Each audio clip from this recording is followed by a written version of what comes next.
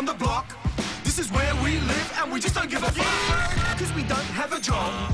Some scam and others rob. We wear thongs, bro. We do AVOs. We wear Uggs, bro. Where'd me kids go?